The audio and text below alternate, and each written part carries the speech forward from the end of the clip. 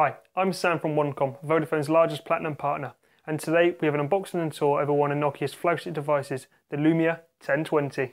Released in July 2013, the 1020 joined Nokia's flagship device range. At first glance, it's pretty similar to the rest of the Lumia range with the overall design and the button layout. It's built with an all-in-one single block design.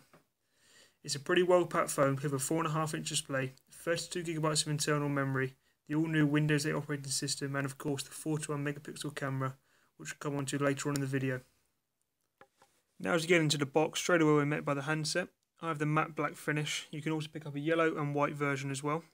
We then have the SIM card ejector to remove the micro SIM card. Also some short advertisement from Nokia and a manual. Lastly, we have a 3-pin wall adapter, some earphones and a USB 2.0 to micro USB cable. Now taking a closer look at the phone, it's a flush all-in-one design with no removable back cover or battery. We have three on-screen buttons at the front, a 3.5mm headphone jack on top next to the SIM card tray, and on the right hand side we have the volume rocker, power button and the camera shutter button. The tiles layout is simple to use and easy to navigate around. Now let's get onto the star of the show, the camera.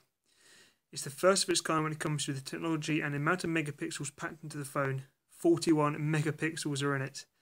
We have complete control over the shutter speed, the ISO, manual autofocus and also the white balance on the Nokia Pro camera app. Now taking another look at the tiles of the Windows 8 operating system, we can get access to applications such as photos, music and video, and the Xbox games. Also, if you go across the right hand side here, we have a list of all the applications on the device such as camera, here maps, Internet Explorer, messaging, and also access to Microsoft Office.